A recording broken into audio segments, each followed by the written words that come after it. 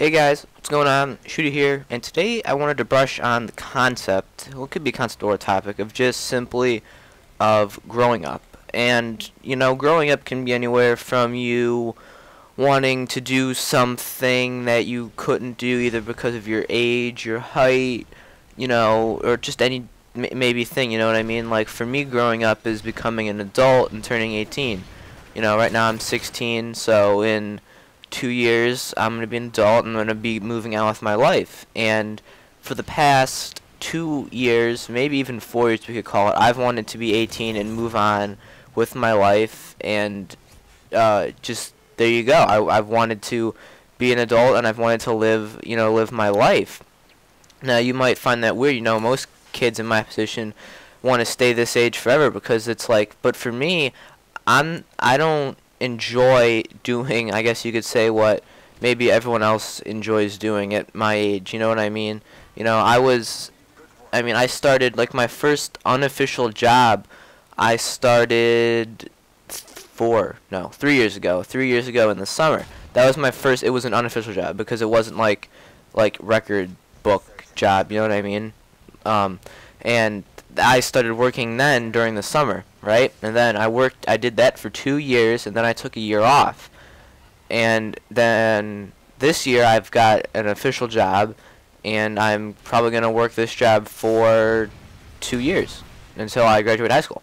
And then after that, I'm gonna go in the military. Now, I've had my uh, mindset or or whatever you want to call it on the military for probably ooh well let's put it this way I've had my mindset on the military for probably two to three years maybe even four years but the mindset for just joining the military now just like not even like getting uh, not doing ROTC and getting a degree out of it from college that idea changed this year.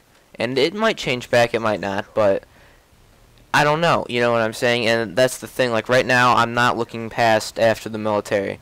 I'm just concerned, I'm just want to get there and do that, you know what I mean? I'm not looking past that. What am I going to do afterwards? How am I going to um, live? How am I going to do whatever, you know what I mean? And that's just honestly where my mindset is right now. And it's it's crazy to think about that because I want to be an adult and I want to move with my life so much. I'm just I, I don't like being a teenager. I don't know why. It's just like there's so much more I can do with I I just want to live my life. And then you say that's weird because you know like you're like um once you're an adult, you're an adult for what? Well, let's put this like um probably something like 60 years. That's a long fucking time to be doing the same thing. Now, in my personal opinion, I'm not going to be doing the same thing for 60 years. I'm going to be in the military for 5 to 10 years. So that's 10 years gone. leaves 50 years. And after that, um, what I'm going to do after that is all in the books. You know, I could do a lot of different things after the military. Whether I got a degree from it or it was just, uh, just doing it for however long and then getting out of it there. I could do multiple things. And I could do you know, one thing for 20 years and then do something else. You know what I mean? It's like those people that that um retire at like 50 or 60 and they do something else for money or just for just to do something for like another 20 years. You know what I'm saying? It's like that. And you know what I mean? I'm not one of those people that I don't mind doing the same thing over and over again, but uh, the first while of doing it, you're kind of open about it. You're, you're you don't want to do it as much when you first start out doing it.